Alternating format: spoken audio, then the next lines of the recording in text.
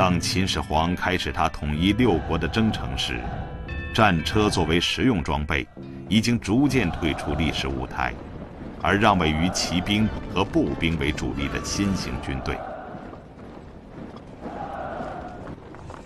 但是豪华马车仍旧是皇帝和王公贵族宣扬权力的专利。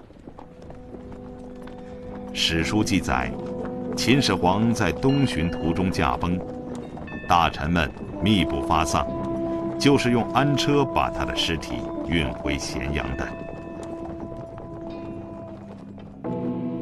秦始皇陵出土的铜车马，让后人有机会想象皇帝的威风。马和车的每一个细节都考虑得很周全，连最普通的配件和装饰物都做得相当考究。比较起来，骆庄的马车在这方面毫不逊色。勒马用的节约、肚带、装饰马的饰物，每一件都是鎏金铜制，有的还镶嵌着绿松石。虽说是小东西，也花了工匠不少功夫。这些奇形怪状的小动物，连嘴巴、鼻子和毛发都雕刻得非常细腻。在秦始皇的铜车马上，有一个用来固定马龙头的当炉，显示出皇家才有的富贵气。但是，当人们发现骆庄墓主人的马车时，却看到了两个更加华丽的鎏金青铜当炉。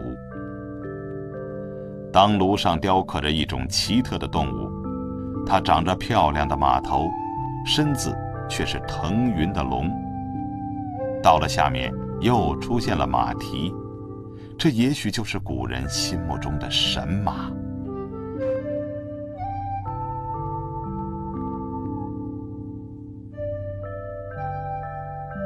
什么人能使用这样高档的车马？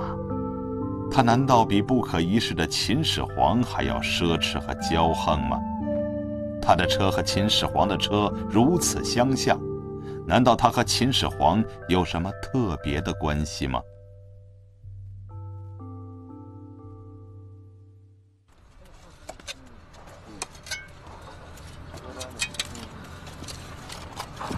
当车马坑的清理挖掘还在进行时，由考古队副队长房道国带领的另一个工作组，在墓区北侧开始了新的钻探。不出所料，他们也发现了一些陪葬坑。这些坑穴里又会出现什么物品呢？在陪葬坑的中央部位，也有距北壁大约有十米左右的时候吧，哈，发现了一个一个小一个小铜环。这铜环呢，虽然也就这么直径大概有五公分吧，哈，当时不知道是干什么用的。当时呢，上面还有木头的痕迹。我们轻轻的用刷子和竹签儿往下做，在最南边呢，有最高的地方呢，哈，发现了一个庞然的大型的一个一个铜器吧。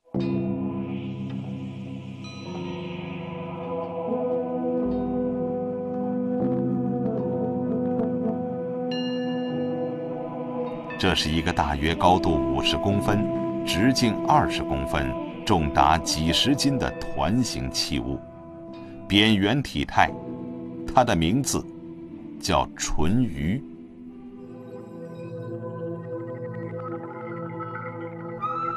淳于的侧面雕刻着一幅苍鹰图案，整幅画仿佛一笔连成，洒脱自然，苍劲古朴。这只苍鹰的形象，不由让人联想起某些金器的造型。看起来，这个墓主人对搏击长空的鹰，有着非同一般的喜爱和崇尚。